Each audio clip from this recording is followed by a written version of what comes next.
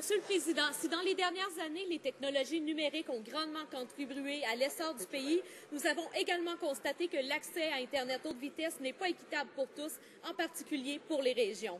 C'est d'ailleurs une lacune que devait corriger le programme Canada numérique 150, mais il semble que l'Abitibi-Témiscamingue ne fait pas partie des priorités de ce gouvernement, car nous venons d'apprendre avec stupéfaction et tristesse que le projet piloté par la gestion de l'inforoute régionale de l'Abitibi-Témiscamingue n'a pas été retenu afin de faire un Canada branché.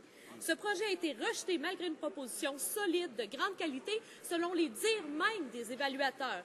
Avec ce projet, près de 98% de la population habitant le vaste territoire aurait enfin eu accès à Internet haute vitesse.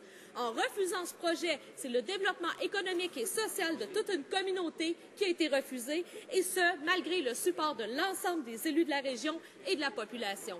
Mais qu'à cela ne tienne, Monsieur le Président, car lorsque l'NPD sera au pouvoir, il s'assurera que l'ensemble de la géographie canadienne ait un accès abordable à Internet haute vitesse.